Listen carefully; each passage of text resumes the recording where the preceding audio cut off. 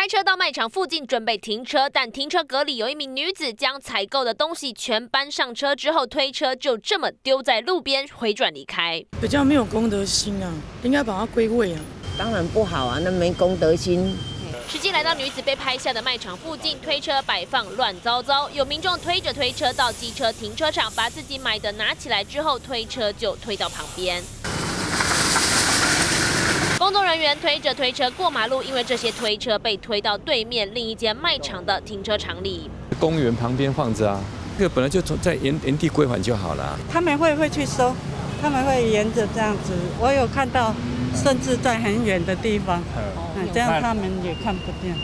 卖场外四周路边随处都可以看到手推车被乱丢的情形，民众到卖场采买满满一推车，图个方便，将推车推到车子旁边卸货，却没有归还放置处，推车乱象也成了卖场另类奇观。